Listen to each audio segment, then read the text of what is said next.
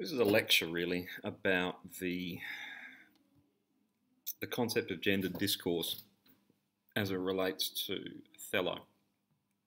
Gendered discourse is really the idea, well, discourse itself, I suppose, is, is the idea that certain concepts continue to flow through our society and our texts and our social narrative.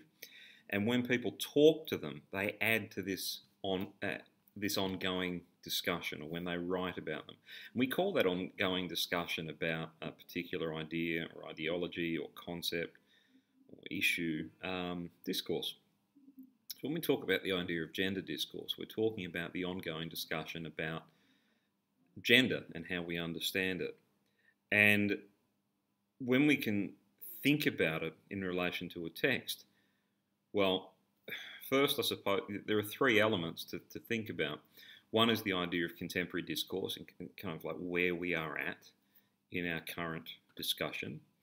And then you can think about the idea of the evolution of discourse, how things have arguably changed over time, back to the specifics of the gender constructs at the time in which the text was produced, which may or may not actually precede the idea of gender discourse. And in the case of studying Othello, it does.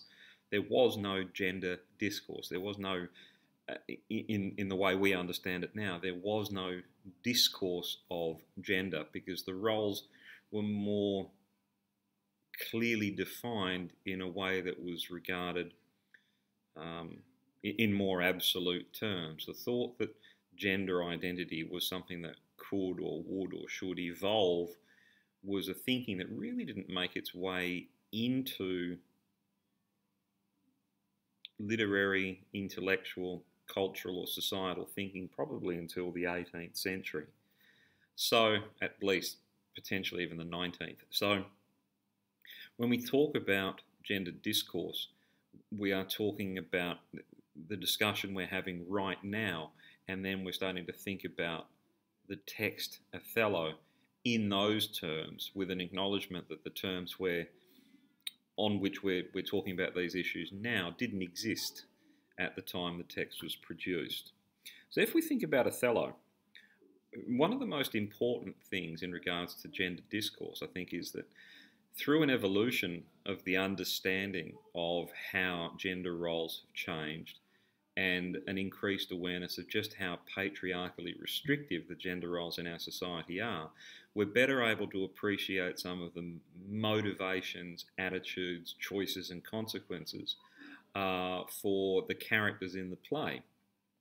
I don't think when the play was written that the majority of people would see the play as starkly as we can as something that where, where the, the, the real tragic uh, events of the text can be so clearly traced to some really problematic understandings of gender.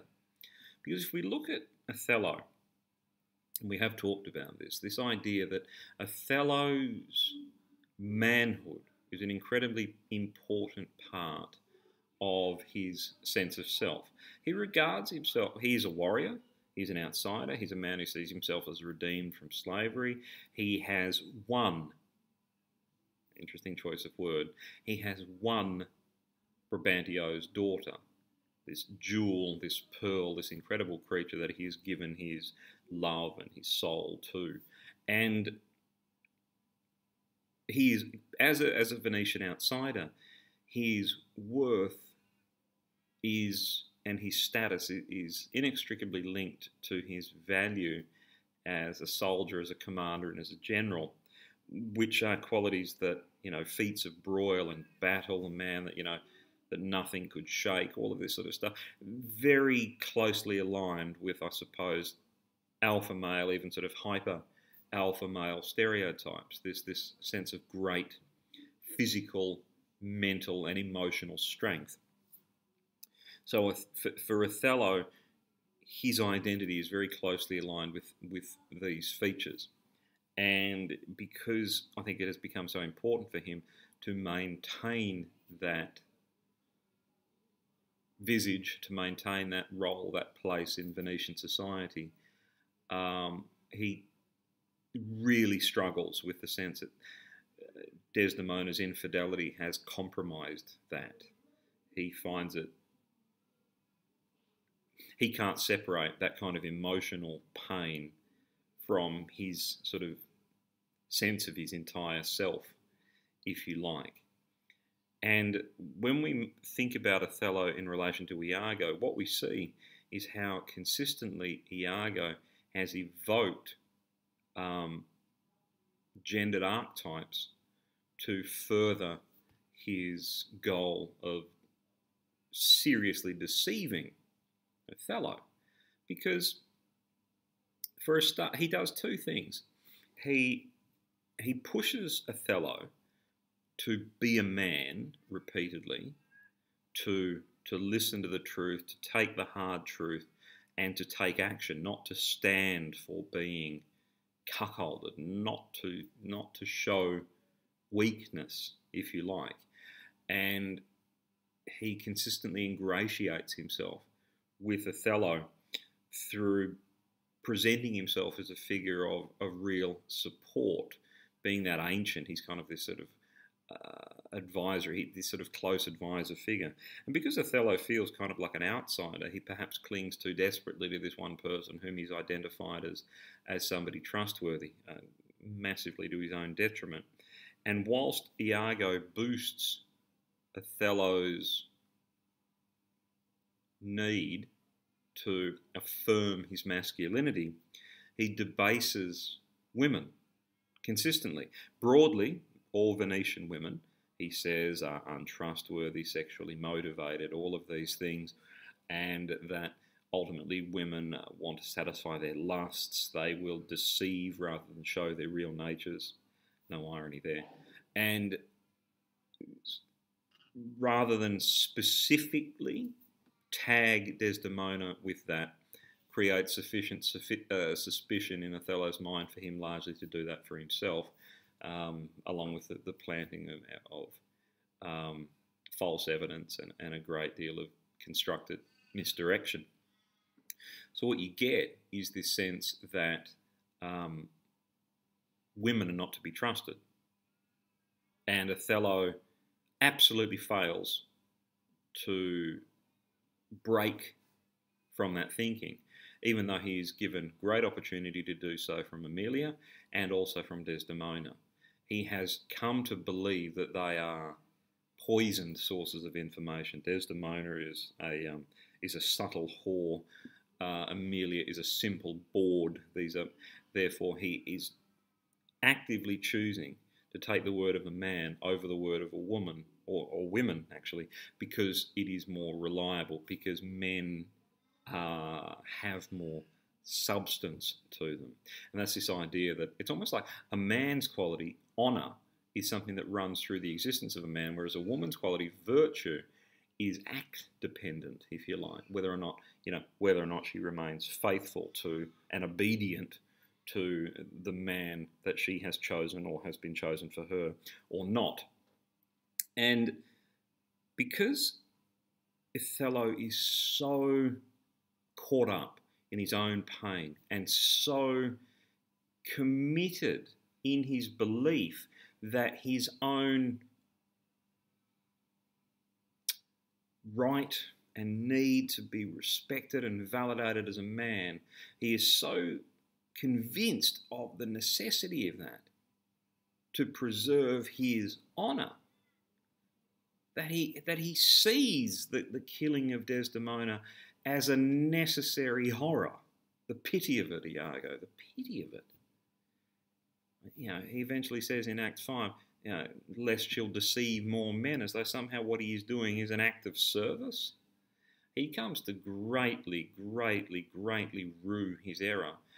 Um, and I think he believes that he has been greatly deceived and that he has done something deserved of being sent to hell. But I don't think he ever quite grasps that he it was his own innate patriarchally defined or derived thinking that helped lead him to this devastating end and to the death of Desdemona, um, I think he only really sees it in terms of, of his own need to, to, to right a perceived wrong and the fact that he had been heavily deceived, not how that deception actually worked and played on gender specific insecurities.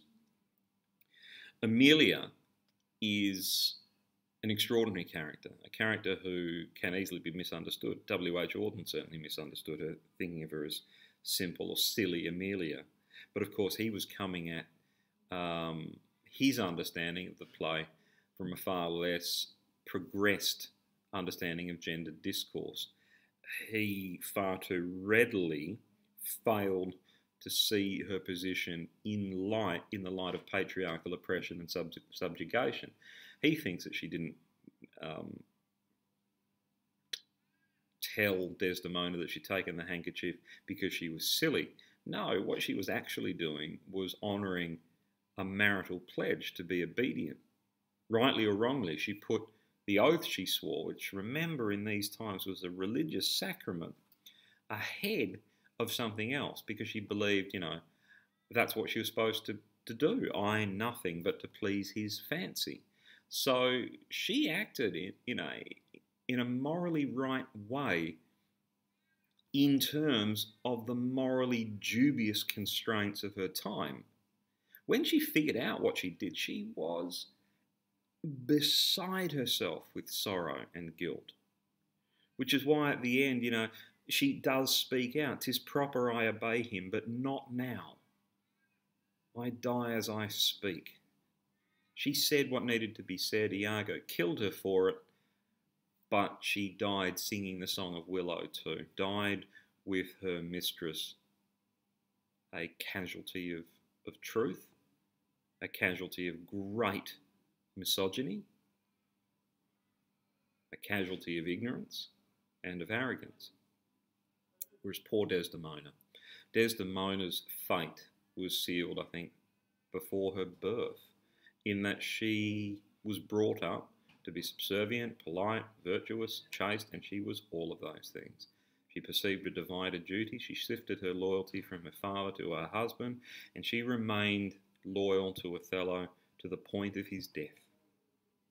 It's easy to wring your hands at Desdemona and think, how could she do this? By a contemporary standard of discourse, one might lead to the conclusion that she was a profoundly subjugated woman, and she was, but she was not an unintelligent woman and she was not a weak woman. The, the strength she showed came out in an act which was virtuous in the context of her time, to remain loyalty, to, to remain loyal, even in the face of betrayal. She was quite saintly in that regard, although it's, it's very easy to wish she had behaved differently.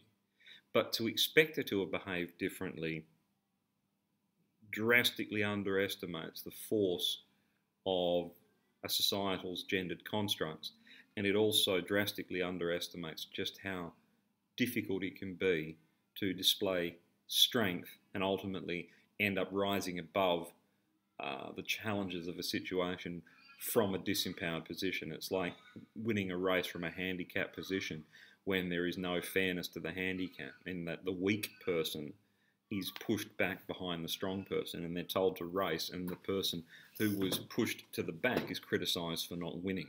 It's, it's, it's, it's a deeply unfair standard to apply what we see, I suppose, in regards to the, these characters and the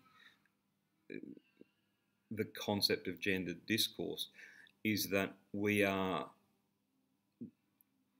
still on a path of growing to an understanding that, that allows us to appreciate the variant ways in which women displayed strength, the variant forms of oppression that existed in terms of gender roles within um, society, ours, and Elizabethan, and all the time in between.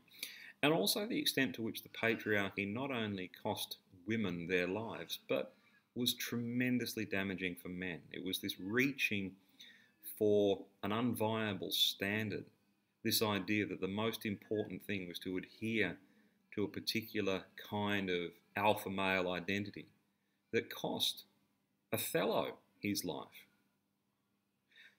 And let's not forget that one of the primary motivators in this play, even though we're somewhat um, in the dark as to really what drove these. We know why Iago felt jealous. He believed, you know, but um, betwixt um, my sheets, he's done mine office. This idea that his women, he, he, that Emilia had slept with both um, Othello and, and um, even Cassio. But we don't know what the root cause of that insecurity was that allowed those buttons to be pressed in him. There are several theories, none of them are conclusive. The, the, the I suppose this this gender entitlement even can be linked to the death of Roderigo, even though he's not um, uh, as significant a character as the other four it's this sense that he can continue to, to, to push and to entreat. He's been told time and time and time again, My daughter is not for thee. Well, he's kind of in stalker territory, surely, um, by contemporary standards. Um, but no, he perseveres. If we look at Iago, he, he, he's he's not only misogynistic, he's misanthropic and he seems to hate everything except the furthering of the self by any means necessary. That's why it's fair to regard him as sociopathic. But the fact that he is so quick to debase women and use that to his advantage, it's almost like he's pushing an incel mentality onto others to motivate them. It's doubtful that he fully believes those motivations, um, but he certainly knows their power. Um, and I think if we were to look for a contemporary corollary to the actions of Othello, we're looking at honour killings that still take place in some part of the world.